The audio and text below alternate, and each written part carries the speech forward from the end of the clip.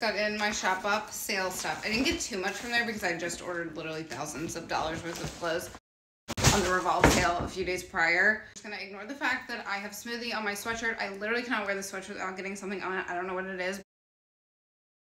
Just got in my Shopbop sale stuff. I didn't get too much from there because I just ordered literally thousands of dollars worth of clothes on the Revolve sale a few days prior. I'm just gonna ignore the fact that I have smoothie on my sweatshirt. I literally cannot wear the sweatshirt without getting something on it. I don't know what it is, but I'm about to put the jacket on anyway, so I'm so excited to open this. I got the Parker short from AGOLDE, like the little longer one.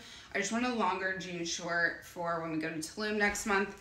And I also got a Levi's longer short from Revolve. So I guess I got both of them to compare.